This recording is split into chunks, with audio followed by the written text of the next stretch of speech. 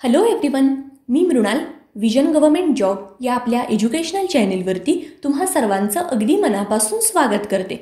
Vision वार्षिकीच्या पुढच्या भागामध्ये आज आपली भेट होते. दोन हजार एकोणीस या संपूर्ण वर्षामध्ये जे महत्त्वाचे पुरस्कार दिले गेले तर त्याच्याबद्दल आज आपण इन्फॉर्मेशन कव्हर करणार आहे. या लेक्चरची पी डी एफ ही तुम्हाला विजन स्टडीवरती डाउनलोड सेक्शनमध्ये मिळेल. आणि विजन गव्हर्मेंट जॉब तर हे जे आपलं ऑफिशियल टेलिग्रॅम चॅनल आहे तर त्यावरून सुद्धा तुम्ही या लेक्चरची पी डी एफ आणि ऑडिओ फाईल डाउनलोड करू शकता. विजन स्टडीवरती सध्या कंबाईन एक्झामसाठीची जी आपली बॅच आहे ती तिचे ॲडमिशन ओपन आहेत. जे स्टुडंट इंटरेस्टेड आहेत तर तुम्ही लवकरात लवकर या बॅचमध्ये आपला प्रवेश निश्चित करा. ठीक आहे? लेक्चरच्या सुरुवातीला एक महत्त्वाची अपडेट तुम्हाला सांगते. द हिंदू या न्यूजपेपरची जी पी डी एफ आहे तर ती तुम्हाला इथून पुढे आपल्या टेलिग्रॅम चॅनलवरती मिळणार आहे. तसंच न्यूजपेपरमधले कोणते महत्त्वाचे आर्टिकल्स तुम्ही वाचायचे आहेत तर त्याची एक लिस्टसुद्धा तुम्हाला दिली जाईल की ज्याचा नक्कीच तुम्हाला तुमच्या अभ्यासासाठी भरपूर फायदा होईल ठीक आहे? तर जर कुणी अजून आपलं टेलिग्रॅम चॅनल जॉईन केलं नसेल तर लवकरात लवकर हे टेलिग्रॅम चॅनल जॉईन करा. सगळे महत्त्वाचे अपडेट्स सगळ्या महत्त्वाच्या न्यूज आर्टिकल्सच्या पी डी एफ तुम्हाला तिथे व्यवस्थितपणे मिळतील ठीक आहे? तुमचा अजून वेळ न घेता आपण लगेच आपल्या आजच्या लेक्चरकडे वळूयात. आज आपण लेक्चरमध्ये जे महत्त्वाचे अवॉर्ड्स डिस्कस करणार आहे तर त्याची एक लिस्ट तुम्हाला इथे दिलेली आहे. जसं की व्यास सन्मान त्याचप्रमाणे ज्ञानपीठ पुरस्कार दादासाहेब फाळके पुरस्कार दोन हजार एकोणीसमध्ये दिले गेलेले रॅमन मॅक्सेसे पुरस्कार नोबल अवॉर्ड तर याच्याबद्दल आपण इन्फॉर्मेशन बघू. तसंच इंदिरा गांधी शांती पुरस्कार तर हा कुणाला मिळाला? तर ह्या गोष्टीसुद्धा आपण समजून घेऊ. आणि एकूणच या संपूर्ण वर्षामध्ये आपले पंतप्रधान नरेंद्र मोदी तर यांना जे इतर देशाकडून देण्यात आलेले सर्वोच्च पुरस्कार आहेत तर त्याबद्दल सुद्धा आपण लेक्चरमधून इन्फॉर्मेशन कव्हर करणार आहे. ठीक आहे? तर ही जी सगळी इम्पॉर्टंट इन्फॉर्मेशन आहे तर ती तुम्ही लक्षात ठेवायची. आपल्या आजच्या लेक्चरची सुरुवात ही आपण साहित्य क्षेत्रापासून करूया. सुरुवातीला आपण व्यास सन्मान तर याच्याबद्दल इन्फॉर्मेशन बघूया. ठीक आहे? यावर्षी जो अठ्ठावीसावा व्यास सन्मान दिला गेला तर तो हिंदी लेखक आणि कवी लीलाधर जागोरी तर यांना मिळालेला आहे. ठीक आहे? त्यांची कविता जितने लोग उतने प्रेम तर या त्यांच्या कवितेसाठी म्हणून त्यांना हा अठ्ठावीसावा व्यास सन्मान मिळाला. हिंदी साहित्यामध्ये एकोणीसशे एक्क्याण्णवपासून हा पुरस्कार दिला जातो. तर हा पॉईंट आपल्यासाठी महत्त्वाचा आहे आणि के के बिर्ला फाउंडेशनकडून हा पुरस्कार दिला जातो. तर हा पॉईंटसुद्धा तुम्ही लक्षात ठेवायचा आहे ठीक आहे? तर हा जो व्यास सन्मान आहे की जो अठ्ठावीसावा व्यास सन्मान की जो लीलाधर जागोरी यांना मिळाला. त्यानंतर पुढे आपण ज्ञानपीठ पुरस्काराबद्दल माहिती बघू. मल्याळम कवी अक्कीतम तर यांना हा पंचावन्नावा ज्ञानपीठ पुरस्कार मिळाला. त्यांचे जे महत्त्वाचे कविता संग्रह आहेत तर ते तुम्हाला माहिती पाहिजेत. जसं की कथा काव्यास त्याचप्रमाणे चरिथा काव्यास तर हे जे त्यांचे कविता संग्रह आहेत तर ते तुम्ही व्यवस्थित लक्षात ठेवायचे. साहित्य क्षेत्रामध्ये दिला जाणारा हा एक सर्वोच्च सन्मान आहे तो म्हणजे ज्ञानपीठ पुरस्कार. आणि यावर्षी हा पंचावन्नावा ज्ञानपीठ पुरस्कार की जो मल्याळम कवी अक्कीतम तर यांना मिळाला. जर आपण पहिला ज्ञानपीठ पुरस्कार कुणाला मिळाला तर हा पॉईंट जर बघितला तर पहिला ज्ञानपीठ पुरस्कार जे विजेते होते तर ते सुद्धा एक मल्याळम लेखक होते ज्यांचं नाव होतं जी एस कुरू ओके म्हणजे पहिला ज्ञानपीठ पुरस्कार हा सुद्धा मल्याळम लेखकाला मिळालेला आहे आणि आत्ताचा जो पंचावन्नावा ज्ञानपीठ आहे तो तो सुद्धा मल्याळम कवी अक्कीतम तर यांना मिळालेला आहे ठीक आहे? पुढे आता आपण दोन हजार एकोणीसमध्ये जे रॅमन मॅक्सेसे पुरस्कार दिले गेले तर त्याच्याबद्दल इन्फॉर्मेशन बघू. द रॅमन मॅक्सेसे अवॉर्ड फाउंडेशनतर्फे दरवर्षी हा पुरस्कार दिला जातो. फिलिपिन्सचे माजी राष्ट्राध्यक्ष तर यांच्या नावाने एकोणीसशे अठ्ठावन्नमध्ये पहिल्यांदा हा पुरस्कार दिला गेला. ठीक आहे? हे जे सगळे महत्त्वाचे पुरस्कार आहेत तर ते कोणत्या सालापासून दिले जात आहेत तर हा पॉईंट आपल्यासाठी खूप महत्त्वाचा आहे कारण यावरती आधारित एखादं स्टेटमेंट आपल्याला एक्झाममध्ये विचारलं जाऊ शकतं ओके यावर्षी म्हणजे दोन हजार एकोणीसमध्ये रवीश कुमार तर हे जे आपले भारतामधले प्रसिद्ध असे पत्रकार आहेत. तर त्यांना हा रॅमन मॅक्सेसे पुरस्कार मिळाला. तर हा पॉईंट तुम्ही लक्षात ठेवायचा आहे ठीक आहे? यावर्षी एकूण पाच व्यक्तींना हा रॅमन मॅक्सेसे पुरस्कार मिळाला. तर हा पॉईंटसुद्धा तुम्हाला माहिती असावा. त्यापैकी एक भारतीय व्यक्ती ज्यांचं नाव आपण आत्ताच बघितलं ते म्हणजे रवीश कुमार ठीक आहे? तसंच आता इतर जे चार व्यक्ती आहेत की ज्यांना हा रॅमन मॅक्सेसे पुरस्कार मिळाला तर ते कोण आहेत आणि ते कोणत्या देशाचे आहेत? तर हा पॉईंट आपल्यासाठी महत्त्वाचा आहे. कारण एक्झाममध्ये जोड्या लावा तर अशा फॉर्ममध्ये यावरती आपल्याला प्रश्न विचारले जाऊ शकतात. की ज्याच्यामध्ये एका कॉलममध्ये हे जे रॅमन मॅक्सेसे विजेते आहेत तर त्यांची नावं तुम्हाला दिली जातील आणि दुसऱ्या कॉलममध्ये ते कोणत्या देशाचे आहेत तर अशा फॉर्ममध्ये आपल्याला प्रश्न विचारला जाईल. ठीक आहे? तर हे जे एकूण पाच विजेते आहेत तर त्यापैकी एक भारतीय की ते म्हणजे रवीश कुमार.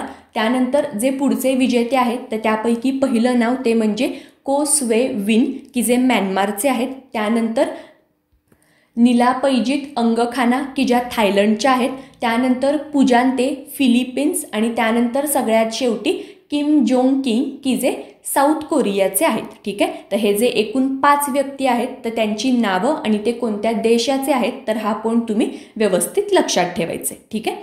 त्यानंतर पुढे आता आपण इंदिरा गांधी शांती पुरस्कार तर याच्याबद्दल इन्फॉर्मेशन बघू. दोन हजार एकोणीसचा इंदिरा गांधी शांती पुरस्कार हा प्रसिद्ध असे निसर्गवादी डेव्हिड एटनबरो तर यांना मिळाला. आपले भारताचे पूर्व राष्ट्रपती प्रणब मुखर्जी तर यांच्या अध्यक्षतेखालील जी ज्युरी समिती आहे तर त्यांनी डेव्हिड अटनबरो तर यांची नियुक्ती किंवा त्यांचं त्यांची निवड ही इंदिरा गांधी शांती पुरस्कारासाठी केली ठीक आहे? तर हा पॉईंटसुद्धा तुम्हाला माहिती असला पाहिजे. आणि इंदिरा गांधी मेमोरियल ट्रस्ट तर यांच्याकडून एकोणीसशे शहाऐंशीपासून हा पुरस्कार दिला जातो. तर हा पॉईंटसुद्धा तुम्ही लक्षात ठेवू शकता ओके? पुढे आता आपण सिनेसृष्टीमधला एक महत्त्वाचा पुरस्कार बघू. तो म्हणजे दादासाहेब फाळके पुरस्कार. दोन हजार अठराचा दादासाहेब फाळके पुरस्कार हा अमिताभ बच्चन यांना देण्यात आला.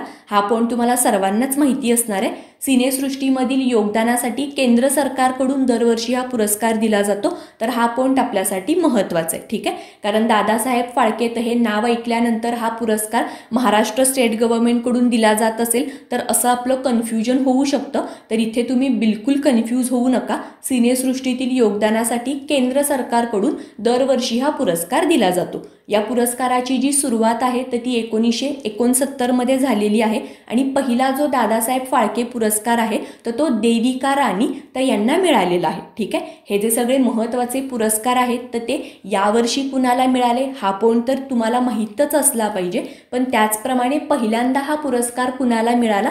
तर ॲटलिस्ट त्या व्यक्तीचं नाव तरी तुम्हाला माहीत असावं. ओके?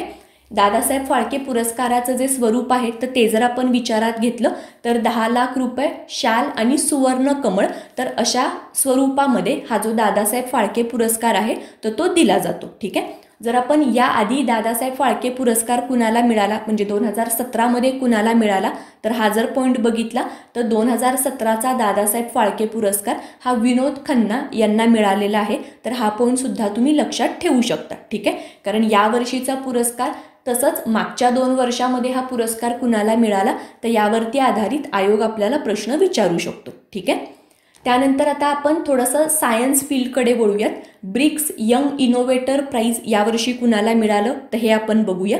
सुरुवातीला आपण हा पुरस्कार किंवा हे प्राईज कुणाला मिळालं? तर विजेत्याचं नाव बघू. ते म्हणजे रवी प्रसाद ओके? सहा ते आठ नोव्हेंबर दोन हजार एकोणीस दरम्यान ब्राझील इथे जी चौथी BRICS young scientist forum conclave पार पडली तर यावेळेला या पुरस्कारांचं वितरण करण्यात आलं. ठीक आहे? रवी प्रसाद तर यांचं एक खूप महत्त्वाचं इन्व्हेन्शन त्याच्यासाठी त्यांना हा पुरस्कार मिळालेला आहे.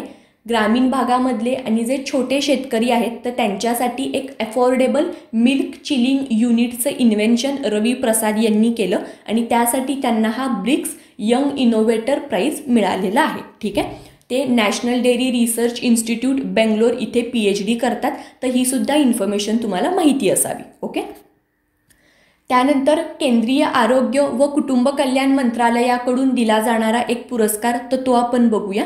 तो म्हणजे ऑर्गन डोनेशन अवॉर्ड ओके? केंद्रीय आरोग्य व कुटुंब कल्याण मंत्रालयाची एक स्वायत्त संस्था ती म्हणजे national organ and tissue transplant organisation तर यांच्याकडून हा पुरस्कार दिला जातो. वेगवेगळ्या तीन कॅटेगरीमध्ये हे पुरस्कार दिले गेले. त्यापैकी पहिली कॅटेगरी ते म्हणजे best state award in cadaveric organ donation okay? ठीक आहे? तर याच्यामध्ये तमिळनाडू या राज्याला हा अवॉर्ड मिळालेला आहे. आता बऱ्याच जणांना हा प्रश्न पडला असेल की कॅडेवेरिक ऑर्गन म्हणजे काय? तर याच्यामध्ये आपले सगळेच ऑर्गन की जे आपण डोनेट करतो जसं की हार्ट त्याचप्रमाणे लंग किडनी लिव्हर पॅनक्रियाज तर यांचा एकत्रितपणे समावेश हा या कॅडवेरिक ऑर्गन डोनेशन तर याच्यामध्ये होतो. ठीक आहे? आणि या कॅटेगरीमध्ये तमिळनाडू राज्याला सर्वोत्कृष्ट राज्याचा पुरस्कार मिळालेला आहे. ठीक आहे? त्यानंतर सेकंड कॅटेगरी ती म्हणजे best state organ tissue transplant तर या कॅटेगरीमध्ये मध्य प्रदेशला अवॉर्ड मिळालेला आहे. आणि बेस्ट परफॉर्मिंग हॉस्पिटल तर याच्यासाठी चेन्नईमधलं Rajiv Gandhi government general hospital तर यांना पुरस्कार मिळालेला आहे. ठीक आहे? तर हे जे तीन कॅटेगरीमध्ये देण्यात आलेले जे ऑर्गन डोनेशन अवॉर्ड आहेत तर ते तुम्ही व्यवस्थित लक्षात ठेवा. ठीक आहे? आता आपण जे पुढे महत्त्वाचे अवॉर्ड बघणार आहे तर ते बघण्यापूर्वी आत्तापर्यंत आपण जे पुरस्कार बघितले तर त्यावरती आधारित एक सिंपल प्रश्न आपण सॉल्व्ह करू आणि मग आपण पुढचे महत्त्वाचे पुरस्कार डिस्कस करू ओके प्रश्नामध्ये आपल्याला तीन विधानं दिलेली आहेत आणि त्यापैकी सत्य नसलेली जी विधानं आहेत तर ती आपल्याला सांगायची आहेत अविधान आहे रॅमन मॅक्सेसे पुरस्कार दर दोन वर्षांनी दिला जातो तर हे पहिलंच स्टेटमेंट आपलं चुकीचं आहे कारण रॅमन मॅक्सेसे पुरस्कार हा दरवर्षी दिला जातो. त्यामुळे अविधान आपलं चुकीचं आहे. त्यानंतरचं ब विधान की दोन हजार एकोणीसमध्ये एकूण पाच व्यक्तींना हा पुरस्कार मिळाला ज्यातील दोन भारतीय होते. आता ह्याच्यामध्ये इन्फॉर्मेशन जी दिलेली आहे तर ती अर्धी इन्फॉर्मेशन बरोबर आहे. म्हणजे दोन हजार एकोणीसमध्ये पाच व्यक्तींना हा पुरस्कार मिळाला तर ही इन्फॉर्मेशन बरोबर दिलेली आहे. पण दोन भारतीय व्यक्ती त्याच्यामध्ये होते तर ही इन्फॉर्मेशन चुकीची आहे. दोन हजार एकोणीसमध्ये रवीश कुमार तर हे एकच असे भारतीय होते की ज्यांना रॅमन मॅक्सेसी मिळाला. ओके? तर त्यामुळे आपलं ब विधानसुद्धा चुकीचं आहे. आणि एकोणीसशे साठमध्ये पहिल्यांदा हा पुरस्कार दिला गेला तर ही इन्फॉर्मेशनसुद्धा चुकीची आहे. आपण मगाशीच बघितलं की एकोणीस एकोणीसशे अठ्ठावन्नमध्ये पहिल्यांदा हा पुरस्कार दिला गेला ओके? तर ह्या प्रश्नामध्ये दिलेली तीनही विधानं चुकीची आहेत आणि आपल्याला सत्य नसलेली म्हणजे चुकीचीच विधानं शोधायची होती तर त्यामुळे पर्याय क्रमांक चार म्हणजे वरीलपैकी सर्व तर हे या प्रश्नाचं आपलं बरोबर उत्तर असेल ओके? आता ह्या प्रश्नाचा आन्सर तुम्हाला व्यवस्थित समजलं? आता आपण पुढचा महत्त्वाचा पुरस्कार बघू ते म्हणजे मॅन बुकर पुरस्कार. यावर्षी मॅनबुकर पुरस्कार हा विभागून दोन लेखिकांना मिळालेला आहे. तर हा पॉईंट खूप महत्त्वाचा आहे. यापैकी पहिल्या लेखिका त्या आहेत कॅनडियन लेखिका मार्गारेट ॲटवूड आणि त्यानंतर ब्रिटिश लेखिका बर्नांडिन एव्हारिस्टो. ओके? एव्हारिस्टो या मॅन बुकर जिंकणाऱ्या पहिल्या कृष्णवर्णीय लेखिका आहेत. हा पॉईंट खूप जास्त महत्त्वाचा आहे कारण पहिल्यांदाच असं घडतं आहे तर त्यामुळे आयोग डेफिनेटली या पॉईंटवरती आपल्याला प्रश्न विचारू शकतो. ओके तर कॅनेडियन लेखिका मार्गारेट ॲटवूड आणि ब्रिटिश लेखिका बर्नांडिन एव्हारिस्टो तर हा पॉईंट तुम्ही लक्षात ठेवा. आणि मुख्य म्हणजे कॅनेडियन लेखिका कोण आहेत आणि ब्रिटिश लेखिका कोण आहेत तर हे सुद्धा तुम्हाला माहिती असलं पाहिजे.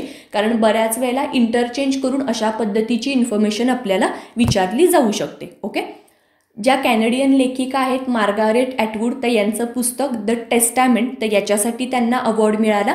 आणि त्यानंतर ब्रिटिश लेखिका एवारिस्टो तर यांचं पुस्तक ते म्हणजे गर्ल वुमन अदर ओके तर हा पॉईंटसुद्धा व्यवस्थित लक्षात ठेवायचा आहे आता जसं मी तुम्हाला आत्ताच म्हटलं की यावर्षी हा जो मॅन बुकर पुरस्कार आहे तर तो विभागून देण्यात आला. तर तुम्हाला लगेच प्रश्न पडला असेल की या आधीसुद्धा हा मॅनबुकर पुरस्कार जो आहे तर तो विभागून दिला गेलेला आहे का? तर याचा आन्सर आहे हो. यावर्षी जो पुरस्कार मिळाला तर त्यापूर्वी एकोणीसशे चौऱ्याहत्तर आणि एकोणीसशे ब्याण्णव तर या दोन वर्षी हा जो मॅन बुकर पुरस्कार आहे तर तो डिवाईड करून मिळालेला आहे. आणि त्यानंतर आता तिसऱ्यांदा हा मॅन बुकर पुरस्कार विभागून मिळतोय. तर हा पण सुद्धा तुम्हाला माहिती असावा. ओके एकोणीसशे अडुसष्टपासून इंग्रजी साहित्यासाठी म्हणून हा पुरस्कार दिला जातो. बुकर मॅकॉलिन तर या कंपनीकडून हा पुरस्कार दिला जात होता. तर हा सुद्धा तुम्हाला माहिती पाहिजे. सुरुवातीला फक्त यू के त्याचप्रमाणे कॉमनवेल्थ देश आणि रिपब्लिक ऑफ आयर्लंड तर इथलं जे हिं इंग्रजी साहित्य आहे तर या इंग्रजी साहित्यासाठी म्हणून हा पुरस्कार दिला जात होता. पण दोन हजार तेरामध्ये याच्यामध्ये चेंज करण्यात आले आणि सर्वांसाठी हा जो मॅन बुकर आहे तर तो खुला करण्यात आला. म्हणजे संपूर्ण जगामधलं जे इंग्रजी साहित्य आहे तर त्यासाठी आता हा मॅन बुकर पुरस्कार दिला जातो. ठीक आहे? तर दोन हजार तेरामध्ये झालेला हा जो बदल आहे तो तो तुमच्यासाठी महत्त्वाचा आहे. ओके? आता मॅन बुकर पुरस्कारांबद्दल इन्फॉर्मेशन बघितल्यानंतर आपण अजून एक महत्त्वाचा पुरस्कार बघू की ज्याच्यावरती डेफिनेटली एक्झाममध्ये आपल्याला प्रश्न बनतात. तो म्हणजे नोबेल पुरस्कार. दोन हजार एकोणीसचा जो नोबेल पुरस्कार आहे की जो अर्थशास्त्र या विभागामध्ये दिला गेला तर भारतीय वंशाचे अमेरिकन नागरिक अभिजित बॅनर्जी आणि त्यांच्या पत्नी एस्टर डफलो आणि त्यांचे एक सहकारी ते म्हणजे मायकल क्रेमर. तर यांना दोन हजार एकोणीसचा नोबेल जो पाय प्राईज आहे की जो इकॉनॉमिक्समध्ये दिला गेला तो तो त्यांना मिळालेला आहे. ठीक आहे? जगातील दारिद्र्य दूर व्हावं तर यासाठी Abdul Latif Jameel poverty action lab तर याच्या माध्यमामधून त्यांनी बरेचसे प्रयत्न केलेले आहेत आणि त्यासाठीच त्यांना नोबेल पुरस्कार मिळाला. तर हा पण सुद्धा तुम्हाला माहिती पाहिजे. ओके? जर आपण अर्थशास्त्रामध्ये दिले गेलेले हे जे नोबल आहेत तर त्याच्याबद्दल अजून काही महत्त्वाचे पॉईंट विचारात घेतले. तर याच्यामध्ये एक पॉईंट तुम्ही लक्षात ठेवा. तो म्हणजे की एकोणीसशे एकोणसत्तरपासून अर्थशास्त्रामध्ये नोबेल प्राईज दिला जातो ओके? याआधी नोबेल प्राईज दिले जात नव्हते कारण नोबेल यांच्या विलनुसार भौतिकशास्त्र त्याचप्रमाणे रसायनशास्त्र वैदकशास्त्र शांती साहित्य तर याच क्षेत्रामध्ये नोबेल दिला जावा असं म्हटलेलं होतं. पण अर्थशास्त्रमधला हा जो नोबेल आहे तर तो स्वीडिश नॅशनल बँकेकडून दिला जातो. तर हा पण सुद्धा तुम्हाला माहिती पाहिजे ठीक आहे? आणि यावर्षीचे विजेते ते म्हणजे भारतीय वंशाचे अमेरिकन नागरिक अभिजित बॅनर्जी त्यांच्या पत्नी एस्टर डफलो आणि मायकल क्रेमर ओके? तर ही नावं तुम्ही व्यवस्थित लक्षात ठेवायचे तसंच आता इतर क्षेत्रामध्ये जे यावर्षी नोबेल मिळाले तर ते सुद्धा कंपल्सरी तुम्हाला माहिती पाहिजेत.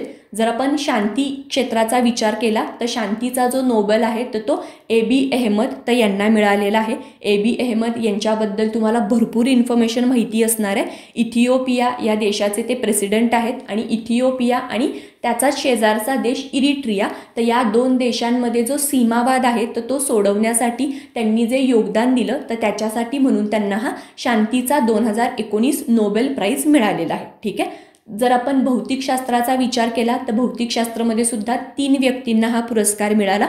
त्यापैकी पहिलं नाव ते म्हणजे जेम्स पीबल त्यानंतर मिचेल मेयर आणि डेडियर केलोज. ओके? तर भौतिकशास्त्रामधले हे अवॉर्ड लक्षात ठेवा. त्यानंतर रसायनशास्त्रामध्ये John Goodenough Stanley Whittingham आणि अकिरा योशिनो. तो यांना केमिस्ट्रीमधला नोबेल मिळालेला आहे. वैदिक शास्त्रामध्ये सुद्धा तीन व्यक्ती आहेत. ते म्हणजे विल्यम केलिन त्याचप्रमाणे ग्रेग सिमेन्झा आणि पीटर रेडक्लिफ. ठीक आहे? आणि त्यानंतर सगळ्यात शेवटी साहित्यामधला लिटरेचरमधला दोन हजार एकोणीसचा नोबेल हा पीटर हँडके तर यांना मिळालेला आहे. ओके? तर हे जे सगळे नोबेल आहेत तर ते तुम्ही व्यवस्थित लक्षातच ठेवायचे आणि मुख्य म्हणजे हे वरचेवर रिवाईज करा कारण ही सगळी नावं ही इंग्लिश नावं आहेत तर त्यामुळे आपल्याला कन्फ्युजन होऊ शकतं. आणि त्यासच भौतिकशास्त्र रसायन आणि मेडिसिन तर याच्यामध्ये तीन तीन व्यक्तींना हे पुरस्कार मिळालेले आहेत. तर टोटल नऊ नावं तुम्हाला लक्षात ठेवायची आहेत आता पुढे आपण एक खूप महत्त्वाचा आणि इंटरेस्टिंग पॉईंट बघणार आहे. ते म्हणजे की नरेंद्र मोदी यांना मिळालेले पुरस्कार ओके नरेंद्र मोदी यांना या वर्षामध्ये वेगवेगळ्या देशाकडून बरेच महत्त्वाचे आणि सर्वोच्च असे पुरस्कार मिळाले. तर याची ही जी लिस्ट आहे तर ती इथे मी तुम्हाला दिलेली आहे. आणि मुद्दामच हा जो डेटा आहे तो तो तुम्हाला चार्टच्या फॉर्ममध्ये मी दिलेला आहे की जेणेकरून हा जो पॉईंट आहे तर तो तुम्हाला लक्षात ठेवणं इझी पडेल ठीक आहे? तर याच्यामध्ये पुरस्काराचं नाव आणि हा पुरस्कार कोणत्या देशाकडून नरेंद्र मोदी यांना मिळाला? तर हा डेटा तुम्ही ॲज इट इज लक्षात ठेवा ठीक आहे? सुरुवात आपण करू बेहरीन या देशाकडून नरेंद्र मोदी यांना दिलेला पुरस्कार तो म्हणजे king Hamad order of Renaissance okay? त्यानंतर पॅलिस्टीन या देशाकडून grand collar of the state of Palestine तर हा पुरस्कार मिळाला. हा जो पुरस्कार आहे तर तो पॅलिस्टीनकडून मिळाला. तर हे आपल्याला लक्षात ठेवणं इझी आहे कारण पुरस्कारामध्येच grand collar of the state of Palestine असं म्हटलेलं आहे. तर इझिली आपल्याला समजेल की पेलिस्टीनकडून नरेंद्र मोदी यांना हा पुरस्कार मिळालेला आहे. ठीक आहे? त्यानंतर पुढचा एक खूप महत्त्वाचा पुरस्कार तो म्हणजे the order of Saint Andrew the Apostle तर हा पुरस्कार रशियाकडून देण्यात आला. त्यानंतर सिओल पीस प्राईज तर हा सुद्धा नरेंद्र मोदी यांना मिळालेला आहे. आणि सिओल पीस प्राईज हा नरेंद्र मोदी यांना कोणत्या कारणासाठी मिळाला? तर हा पण सुद्धा आपल्यासाठी महत्त्वाचा आहे. श्रीमंत आणि गरीब तर यांच्यामधली जी असमानता आहे तर ती दूर करण्यासाठी नरेंद्र मोदींनी जे काम केलं तर त्याच्यासाठी म्हणून त्यांना हा सिओल पीस प्राईज मिळालेला आहे. ठीक आहे? तसंच Bill and Melinda Gates फाउंडेशनकडून global goalkeeper award Narendra Modi यांना मिळाला. तर हा पॉईंटसुद्धा आपल्यासाठी महत्त्वाचा आहे. आपली जी सतरा सस्टेनेबल डेव्हलपमेंट गोल्स आहेत तर ती पूर्ण करण्यासाठी ज्या व्यक्तींनी किंवा ज्या संस्थांनी खूप महत्त्वाचं असं काम केलेलं आहे तर त्यांना बिल अँड मिलिंडा गेट्स फाउंडेशनकडून हा जो ग्लोबल गोलकीपर अवॉर्ड आहे तर तो दिला जातो. आणि यावर्षी नरेंद्र मोदी यांनी जे आपलं स्वच्छ भारत अभियान आहे तर त्याच्यासाठी म्हणून जे इनिशिएटिव्ह घेतलं तर त्याच्यासाठी म्हणून नरेंद्र मोदी यांना हा पुरस्कार मिळालेला आहे. ठीक आहे? तर हा पॉईंट तुम्ही व्यवस्थित लक्षात ठेवा. आता आपले भारताचे पंतप्रधान नरेंद्र मोदी तर यांना इतर देशाकडून देण्यात आलेले हे जे सर्वोच्च पुरस्कार आहेत तर ते आपण बघितले. तसंच इतरही भारतामधले काही आपले नेते आहेत किंवा काही पूर्व राष्ट्रपती आहेत की ज्यांना काही देशांचे सर्वोच्च नागरी पुरस्कार मिळाले तर ते सुद्धा तुम्हाला माहिती पाहिजेत. त्यापैकी पहिलं नाव ते म्हणजे आपले सध्याचे राष्ट्रपती रामनाथ कोविंद. रामनाथ कोविंद यांना बोलिव्हिया या देशाचा सर्वोच्च नागरी पुरस्कार मिळालेला आहे. तो म्हणजे ग्रँड कॉलर. ओके? मगाशी आपण नरेंद्र मोदी यांना सुद्धा मिळालेला grand collar of the state of Palestine तर या पुरस्काराबद्दल बोललो. आणि जे आपले राष्ट्रपती आहेत रामनाथ कोविंद तर यांना बोलिव्हिया या देशाचा सर्वोच्च नागरी पुरस्कार मिळालेला आहे.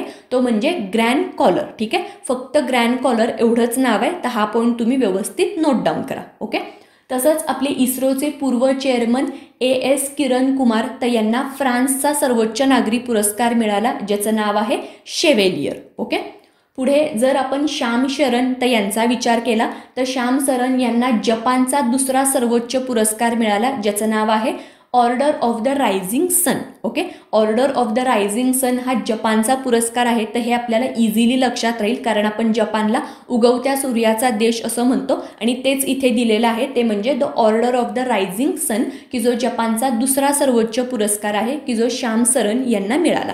तसंच आपल्या भारताच्या पूर्व राष्ट्रपती प्रतिभा पाटील तर यांना मॅक्सिकोचा जो परकीय व्यक्तींना दिला जाणारा सर्वोच्च पुरस्कार आहे तर त्याने सन्मानित करण्यात आलं. या पुरस्काराचं नाव आहे order of the Aztec eagle okay तर हे जे नाव आहे तर ते तुम्ही व्यवस्थित लक्षात ठेवा. हे जे इतर देशांकडून देण्यात येणारे जे पुरस्कार आहेत तर त्याची बऱ्याचदा सुरुवात द ऑर्डर ऑफ द अशी होतीये. तर त्यामुळे ऑर्डर ऑफ द आणि पुढे जे त्याचं नाव आहे तर ते तुम्ही लक्षात ठेवायचं आहे आणि पर्टिक्युलर तो पुरस्कार कोणत्या व्यक्तीला मिळाला तर हा पॉईंट आपल्यासाठी खूप महत्त्वाचा आहे. ठीक आहे?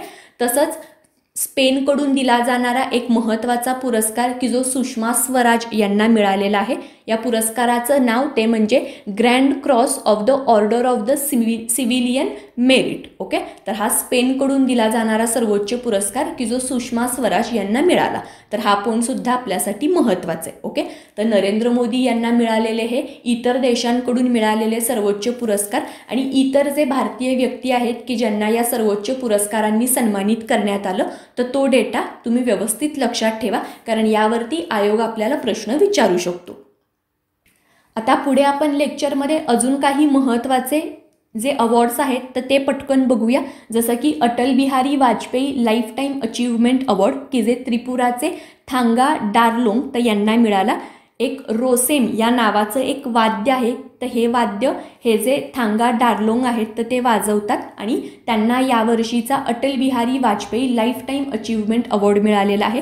तर हा पॉईंट लक्षात ठेवायचा आहे त्यानंतर जर आपण शौर्य पुरस्काराचा विचार केला तर चौदा वर्षाचा एक मुलगा तो म्हणजे इरफाम शेख तर याला तीन आतंकवाद्यांविरुद्ध तो लढला. तर त्याच्यासाठी म्हणून शौर्य पुरस्कार मिळाला. शौर्य पुरस्कार हा शांतीच्या काळामध्ये दिला जातो. तर हा सुद्धा आपल्यासाठी महत्त्वाचा आहे. ओके तसंच पाकिस्तानचे जर्नलिस्ट क्रिसिल अल्मेडा तर यांना एकाहत्तरावा वर्ल्ड प्रेस फ्रीडम हिरो तर या पुरस्काराने सन्मानित करण्यात आलं. इंटरनॅशनल प्रेस इन्स्टिट्यूट तर यांच्याकडून हा पुरस्कार दिला जातो. तर हा सुद्धा तुम्हाला माहिती पाहिजे. ओके? आणि तसंच रवींद्र टागोर लिटररी प्राईज तर हा जो पुरस्कार आहे तर तो राणा दासगुप्ता तर यांना त्यांची सोलो ही जी नोवेल आहे तर त्याच्यासाठी मिळालेला आहे. रवींद्र टागोर लिटररी पुरस्काराची ही सेकंड एडिशन होती आणि तो पुरस्कार राणा दासगुप्ता तर यांना मिळालेला आहे. ओके? तर हे जे सगळे पॉईंट आहेत तर ते तुम्ही व्यवस्थित लक्षात ठेवायचेत. आपल्या आजच्या लेक्चरमध्ये दोन हजार एकोणीस या संपूर्ण वर्षामध्ये जे महत्त्वाचे पुरस्कार दिले गेले तर त्याच्याबद्दल अगदी इन डिटेल इन्फॉर्मेशन बघितलेली आहे. मला खात्री आहे आपल्या आजच्या लेक्चरमधली इन्फॉर्मेशन तुम्हाला सर्वांनाच आवडली असेल. यापैकी बरीचशी इन्फॉर्मेशन तुम्हाला आधी माहीतसुद्धा असेल पण या लेक्चरच्या माध्यमातून हे सगळे पॉईंट तुम्हाला व्यवस्थित रिवाईज झाले असतील. कारण आता आपली येणारी जी एक्झाम आहे तर ती खूप जवळ आलेली आहे. तर त्यामुळे रिव्हिजन खूप महत्त्वाची आहे. आणि या लेक्चरमधून या सगळ्या महत्त्वाच्या पुरस्काराची प्रॉपर रिव्हिजन तुम्हाला झाली असेल. आणि बरेचसे नवीन पॉईंटसुद्धा तुम्हाला समजले असतील. ठीक आहे? आपलं आजचं लेक्चर तुम्हाला कसं वाटलं हे जरूर तुम्ही कमेंट करून आम्हाला कळवा. आणि जसं मी तुम्हाला लेक्चरच्या सुरुवातीला म्हटलं की या लेक्चरची जी पी डी एफ आहे तर ती तुम्ही कंपल्सरी डाउनलोड करा. कारण हा जो फॅक्च्युअल पॉईंट आहे तर तो तुम्हाला वरचेवर रिवाईज करणं खूप गरजेचं आहे की ज्याच्यासाठी या पी डी एफचा फायदा तुम्हाला रिव्हिजनसाठी होईल. ओके आणि आपली जी राज्यसेवेची पूर्वपरीक्षा आहे तर ती आता खूपच जवळ आलेली आहे. तर त्यामुळे तुम्ही जास्तीत जास्त क्वेश्चन पेपर सॉल्व्ह केले पाहिजेत. यासाठी तुम्ही विजन स्टडीवरती आपल्या ज्या टेस्ट सिरीज आहेत तर त्याच्यामध्ये सुद्धा ॲडमिशन घेऊ शकता. तुमचा एखादा सब्जेक्ट जर वीक असेल आणि तुम्हाला त्याच सब्जेक्टच्या जास्त प्रॅक्टिसची गरज असेल तर सब्जेक्टनुसार सुद्धा टेस्ट सिरीज अवेलेबल आहेत किंवा सगळ्या सब्जेक्टसाठी जी कंबाईंड टेस्ट सिरीज आहे तर तीसुद्धा अवेलेबल आहे की ज्याचा नक्कीच तुम्हाला एक्झामसाठी भरपूर फायदा होईल. ठीक आहे? तर जे स्टुडंट इंटरेस्टेड आहेत तर तुम्ही लवकरात लवकर विजन स्टडीवरती ही जी टेस्ट सिरीज आहे तर त्याच्यामध्ये आपला प्रवेश निश्चित करायचा आहे ओके? इथून पुढे विजन वार्षिकीच्याच माध्यमातून आपण अजूनही काही महत्त्वाचे जे पॉईंट आहेत तर ते अगदी इन डिटेल कव्हर करू ठीक आहे? तोपर्यंत आपले आत्ताचे जे लेक्चर आहेत तर ते तुम्ही व्यवस्थित बघा आणि त्याची प्रॉपर रिव्हिजन करा ओके? थँक्यू आता विजन स्टडी डॉट इनमुळे अगदी माफक दरात एम पी एस सीचा अभ्यास करणे शक्य झाले आहे. मी ॲडमिशन घेतलं तुम्हीही घ्या. अधिक माहितीसाठी विजन स्टडी डॉट इनच्या संकेतस्थळावर भेट द्या. Please visit Vision Study dot in